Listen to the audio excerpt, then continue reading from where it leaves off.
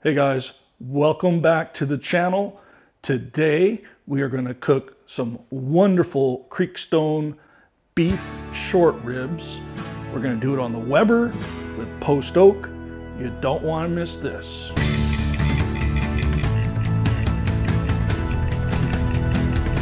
Hey guys, welcome back to the channel. If you're new here, my name is Todd. Sassy, my better half, my lovely wife, is out getting some retail therapy. It's Saturday, it's her day off. She's earned it. So today, I hope you're watching the video as part of the Barbecue Pitmasters of YouTube cooking competition. Smoking Joe's Pit Barbecue and I are going head to head on beef short ribs today, and I hope you enjoy it. There's also 18 other competitors on different channels you guys go check them out. They're all ready to vote today, and it's up to you to pick a winner. And don't forget, guys, lots of cool prizes for subscribers and people that vote, so vote. So before we go any further, guys, please hit subscribe button. We really would appreciate it. It helps the channel out a lot, it's not gonna cost you a darn thing. And be sure to hit that thumbs up, folks. Again, doesn't cost a thing. It helps us out a lot.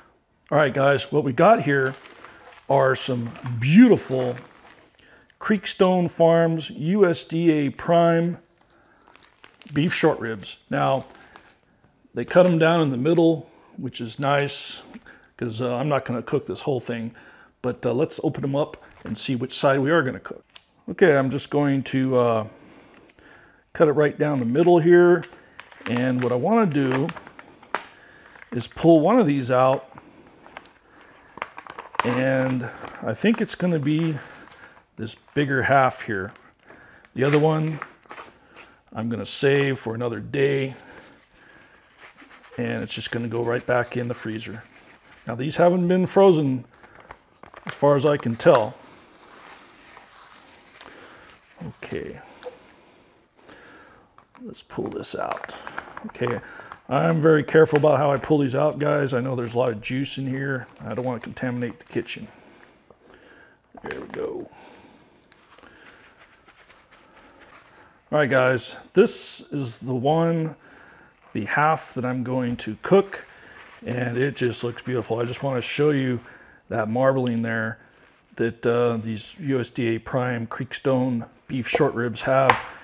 Uh, it's just fantastic, guys. You know, beef ribs, are going to be juicy, prime or choice.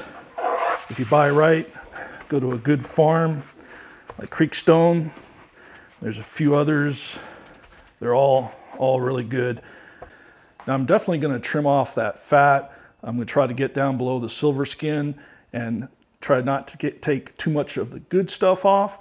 Um, and by the way, um, there's probably as many people that can argue about this, but I'm going to leave the membrane on. Um, some people might score it, some people might take it off. I think it's preference, but I know because the amount of marbling and fat rendering that's going to go on with this cook, um, he's liable to uh, fall off the bone. So I'm going to keep that membrane on there for the sake of just keeping them together. So let's go ahead and I think I'll start from this side right over here. And so what I want to do is come in at an angle. Okay, guys, never uh, cut toward you. I want to just kind of get up under there.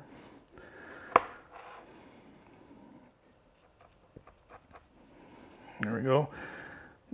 Now once I got that little flap going there, I just want to cut right on through that.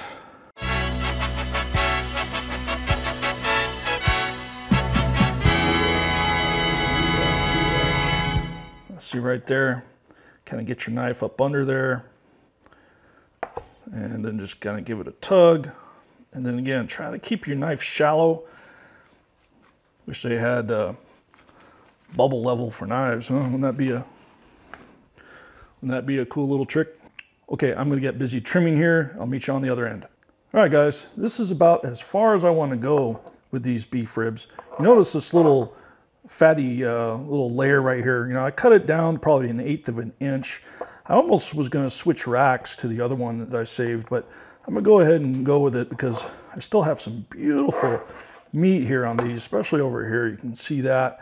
Um, I kind of flattened it out a little bit, but um, slightly concerned about this. But uh, honestly, I think it'll do just fine. Because, um, you know, of course, I'm going to take the best looking rib off here to present for you guys a little bit later on. Um, this is going to go on the Weber, and I'll show you that in a minute, guys. Be sure to stick around to the end so you see how these come out. So, you notice I'm not wearing gloves, and that's okay. Got a sink right there, and I'm keeping my hands clean. So what we're going to do here is I'm going to use some avocado oil, and I'm going to use my right hand. Now, I really like uh, cooking with avocado oil. It's not really too much uh, flavor. It just makes a really good binder for that rub. And uh, stick around, I'll show you what kind of rub we're going to use. Now, I know I got the membrane on there, but hey, everybody gets love around here, even the membrane. Don't forget the sides. Okay, now what kind of seasoning are we going to use, do you ask? Well, Uncle Steve's Shake Competition Cow Powder. Guys, this has got some great flavor. It's just the right amount of SPG, little paprika, and it is just so good. I've used it on a few, quite a few cooks. I love the way the bark comes out and just, you know, I don't have to think about it. I don't have to measure anything. It's ready to go. I know the membrane isn't gonna, much is gonna stick there, but hey, everybody gets love around here. So let's get that membrane seasoned up. I am gonna cook it membrane down with the uh, fatter part of the bones toward the fire. And uh, of course, I'm going to show you here in a minute specifically what kind of fire we're going to be doing.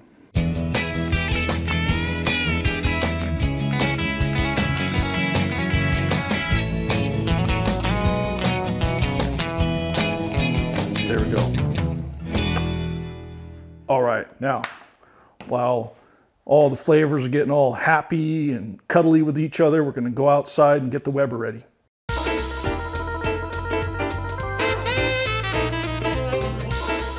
All right guys, as you can see here, this is my trusty Weber Performer 22 inch charcoal grill. Now, as you can see, I'm using the snake method here. Now, I've got these chunks of Texas post oak that I was lucky to find while I was on vacation in Phoenix uh, last month.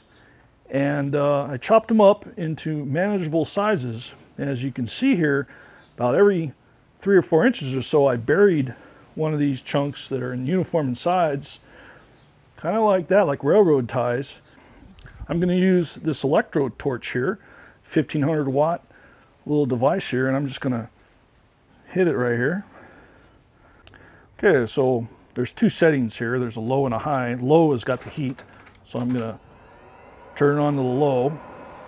I'm gonna get it up there right about an inch away from the first little charcoal briquette here. Now I'm using Ridge charcoal. It's got a hickory and oak mix. Once those hot cherries are uh, pretty well dispersed here, I'm gonna go to high and that kind of fans the flames a little bit and kicks it up a notch. Okay guys, I'm gonna let that charcoal come up on the Weber now. The temperature I'm looking at is right around 285. Now this is after doing some research, yes, on YouTube, and 285 seemed to be the go-to temperature for these things.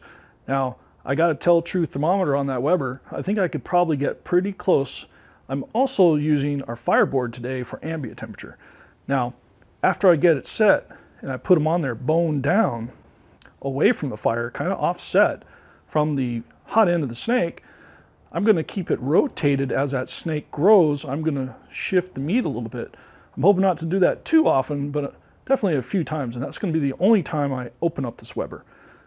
Once that bark sets, and you guys have seen me do this before, little scratch test, that's when we're going to start spritzing. I'm going to use kind of a diluted water and Campbell's beef broth mix. You want to keep these wet. Now, it doesn't need a whole lot of spritz because they're so juicy anyway.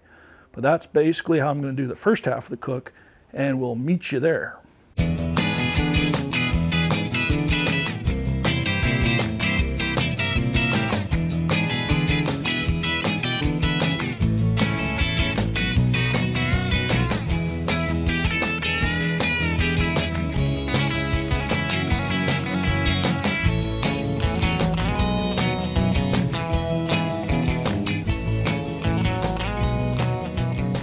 Right, guys, it's been about two and a half hours.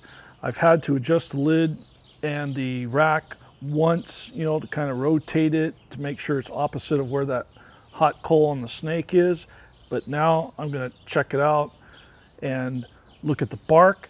And the bark doesn't scrape off with my finger. I'm gonna start spritzing with the 50-50 water and beef broth mix. All right, guys, let's take a look at this. Okay, so there's my uh, current state of the snake, so to speak. And so what I'm going to do is just turn this a little bit. Take these little chunks of wood to help me out here. There we go. Adjust my uh, wire here. As you can see, that's starting to flare up, so I don't want to leave it open too long. But notice this is where that fat, that fat vein was running. So I'm just gonna sop that up a little bit. Don't really want it right there like that. Got plenty of fat on the inside, okay? There we go. All right, that looks good right there. Now that part, you know, it's just a little bit of fat. You know what? It's not quite sticking, so let's cover it up. I'm gonna put the exhaust right over the meat opposite the fire. All right, guys, as you can see, it's not even ready for spritz, even after two and a half hours, almost three hours. It's just a little tender on there, so uh, I'm just gonna let it go probably another two hours. Maybe I'll check in an hour, I don't know. But uh, right now, I'm, I'm, just gonna give it more time and uh, cross our fingers. All right, guys, it's been five hours and um, I think I do like the bark that's on there. Um, it's making me a little nervous because it almost seems so juicy that the bark's not getting a chance to stick. Part of it could be that little vein of fat that I left there, about an eighth of an inch. Uh, but I tried patting it dry throughout, but it was only in one little spot. Um, the area off to the side, I think, was a little bit more uh, lean, so to speak, not as wet. Bark had a little bit chance to uh, set up there. So I like the internal temperature so far. It's looking to be uh, right about 170 to 180, depending on where I probe it. Um, and to me, that's pretty good, but it still wasn't completely buttery soft. So what I'm gonna do is go ahead and wrap it because I want to increase the temperature a little bit on the Weber, closer to maybe 300.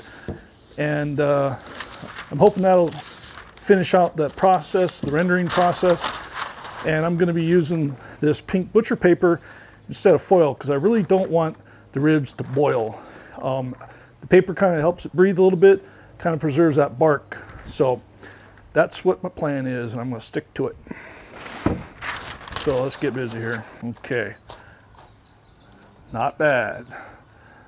Not bad at all. Okay. So these things are so juicy, I'm not gonna even bother spritzing or anything. I'm just gonna wrap them. Let's start from this side. Oops, sorry. A little bit of a challenge in this wind, I apologize. There we go. Go one over once more. And you know, that's about as far as I'm going to go with these ribs. So I'm going to try to get them nice and tight. Okay.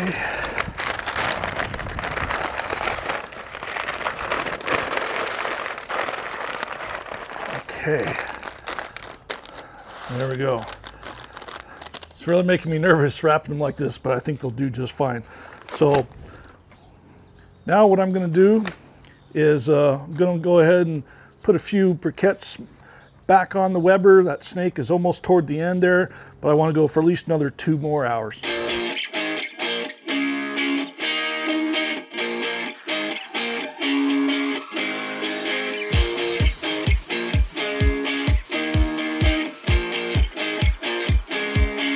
Just like it was cooking, I'm going to put the bones for the fire. Now again, as that fire goes like that, I might move it one more time, but otherwise I, I think I'm just uh, going for about another two hours. All right, guys, now it's just another waiting game. So based on extrapolation and an unscientific method, I'm gonna guess I'm gonna go for two more hours wrapped. So that basically, that's gonna put me in the dark. It's gonna put me right about eight o'clock on Saturday night. So guys, I'll see you in about two more hours. All right, guys, it has been about seven hours now. It, they've been resting in the oven there, wrapped. Haven't unwrapped them yet. And uh, we're gonna take a look. All right, guys. Here we go.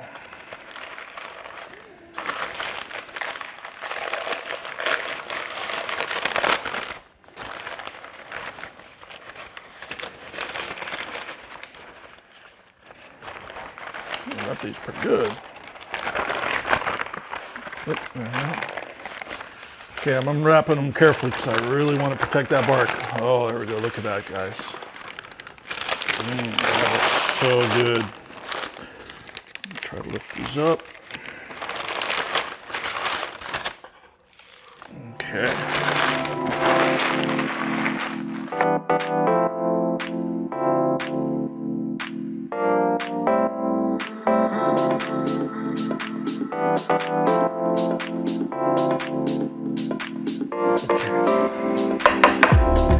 Right, guys.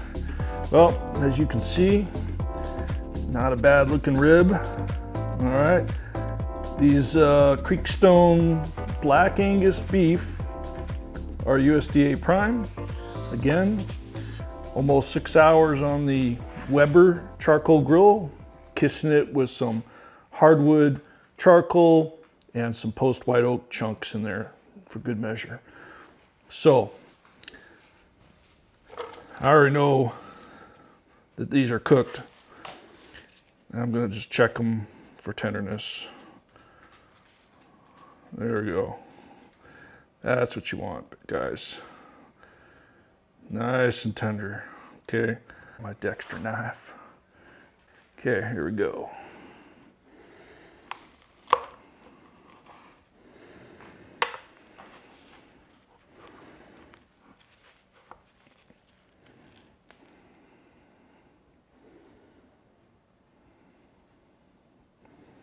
What do you guys think here? There's that bark. All right, guys. Well, you know, I think they uh, came out pretty good, guys. These are prime and um, got a nice smoke ring, as you guys can see. Uh, that fat's been rendering for a long time. And uh, if there's any doubt you can cook beef ribs on a Weber kettle. No more doubts, guys. So I'm gonna go ahead and move these off to the side. Now here's another reason I left that membrane on. If I had taken off that membrane, this would have fallen off, but you know what? This is gonna fall off anyway. There you go. Okay, we'll just put that bone aside. All right, guys. So let's go ahead and cut these up.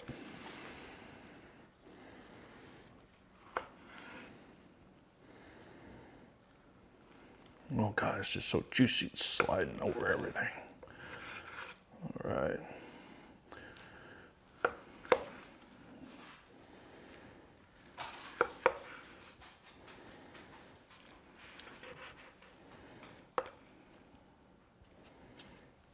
Mm.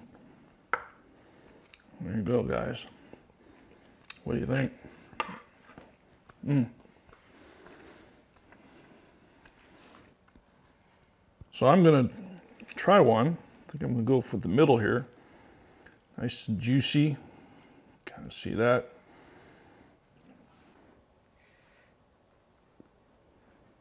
Here we go. Mmm.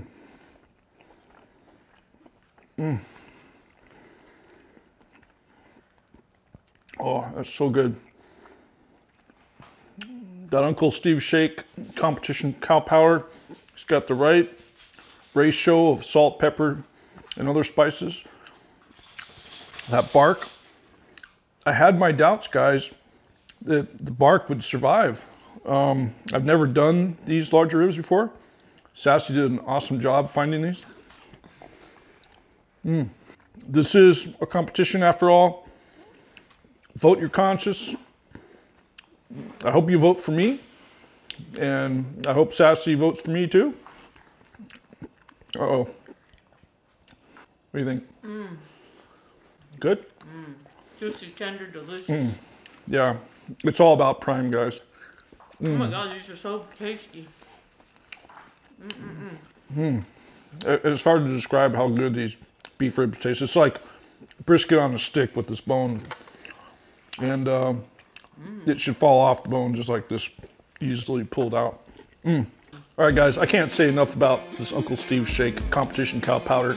It's what helped achieve such a fantastic bark and the taste, Flavor. all the flavor. It's just now that Black Angus prime Creekstone Farms meat definitely got a flavor on its own, but when you bite into that little bit of that bark, man, that just adds. Oh, that's the end piece. All right, guys, I hope you enjoyed the show, folks. Be sure to vote and vote a lot if you're voting for me. Vote more than once. No, I'm just kidding. But really, hey, even if you don't vote for us, we're hoping that you'll comment anyway. Tell us what we uh, did wrong or right or, or how you would do it different. Also, I'm going to drop a link to Uncle Steve's Shake in the description. Be sure to go down there and visit them. Tell them Greenhorn Barbecue Sound. Yeah, hit that thumbs up. It helps us on the algorithm and helps us more than you think. So until next time, see you guys later.